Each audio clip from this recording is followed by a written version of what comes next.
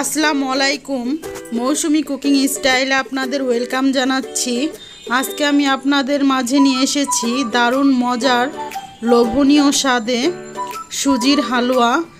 আমি একটু ডিফারেন্ট স্টাইলে হালুয়াটা বানিয়েছি। আশা করি আপনাদের ভালো লাগবে। আর এই হালুয়াটা খেতে যেমন দারুণ, আর বানানো তো খুবই সহজ। আমি কিছু টিপস শেয়ার করব। আশা করি সেই টিপস অনুযায়ী যদি আপনারা হালুয়াটা বানান, একদম পারফেক্ট হবে। আর এই হালুয়া বানানোর জন্য আমি এখানে নিয়েছি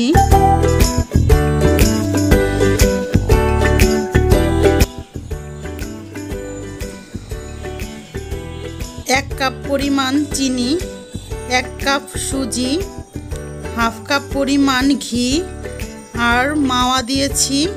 আর দিয়েছি কাজু বাদাম কিশমিশ আর দিয়েছি জাফলং, আর সামান্য জর্দার রং। আমি একটি চুলায় একটু হালকা ঘি দিয়ে ফার্স্টে বাদাম আর কিশমিশগুলো হালকা আছে ভেজে নেব। যেহেতু আমার কিশমিচের পরিমাণটা একটু কম, তাই আমি সব কিছু মিলিয়ে তারপর হালকা করে ভেজে নিচ্ছি। আর আপনারা যদি কিশমিশটা একটু বেশি পরিমাণে দেন, তাহলে আলাদা করে হালকা টেলে দিবেন। একসাথে দিলে অনেক সময় পুড়ে যাওয়ার সম্ভাবনা থাকে। একটু হালকা কালার হয়ে আসলে তারপর আমি সবগুলো তুলে নিচ্ছি। তারপর দিয়ে দিচ্ছি চিনি।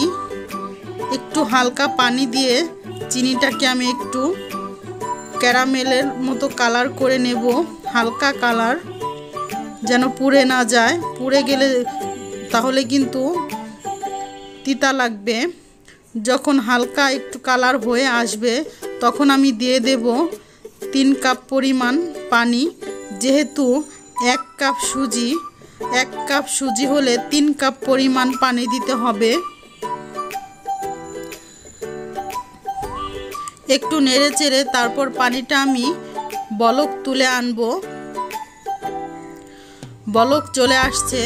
এই মুহূর্তে আমি পানিটা নামিয়ে নিচ্ছি। বেশি জাল করব না, তাহলে পানিটা কমে যাবে। তারপর আমি আবার আর একটা প্যানে পুরোটুকু ঘি দিয়ে এক কাপ পরিমাণ সুজি দিয়ে নেড়ে চেড়ে খুব ভালো করে নেড়ে চেড়ে এটাকে ভেজে নিতে হবে। আমি কিন্তু কাঁচা সুজিটা ব্যবহার করেছি। আর দিয়ে দিচ্ছি একটু লবণ, যেন মিষ্টির স্বাদটা ঠিক থাকে। আর দিয়ে দিচ্ছি এক কাপ পরিমাণ মাওয়া। আমি মাওয়াটা ব্যবহার করেছি। আপনাদের কাছে যদি মাওয়াটা না থাকে, তাহলে অবশ্যই এক কাপ পরিমাণ গুঁড়ো দুধ ব্যবহার করবেন। আর যেহেতু আমি বাসায় বানিয়ে রেখেছি মাওয়াটা তা আমি মাওয়াটাই দিয়েছি। আপনারা চাইলে ডিসক্রিপশন বক্সে লিঙ্কটা দিয়ে দেব, মাওয়ার। দেখে নিতে পারেন। খুব ভালো মতো ভাজা হয়ে গেলে তারপর আমি সেই পানিটা দিয়ে দিচ্ছি শিরাটা, যেটা আমি জাল করে নিয়েছি। ওটা অলরেডি গরম আছে। নাড়াটা কিন্তু বাদ দেওয়া যাবে না, তাহলে দলা পাকিয়ে যাবে। আর অর্ধেকটুকু আমি কিশমিশ বাদাম দিয়ে দিচ্ছি। জালের পরিমাণটা মিডিয়াম রেখে এভাবে নেড়ে চেড়ে সুজিটাকে রান্না করতে হবে। আর দিয়ে দিচ্ছি সাথে জাফলং। জাফলংয়ের সাথে হালকা একটু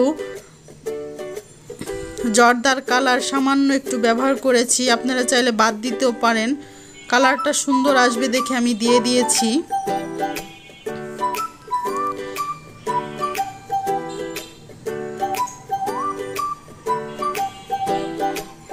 ঘি, জাফরং এইসব দিলে কিন্তু ফ্লেভারটাও খুব ভালো আসে।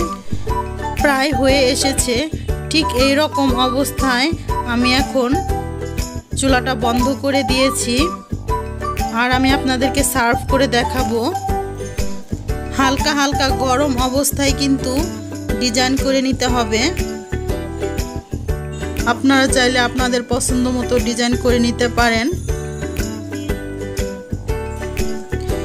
আশা করি আমার এই রাজকীয় স্বাদের হালুয়াটা আপনাদেরও অনেক ভালো লাগবে।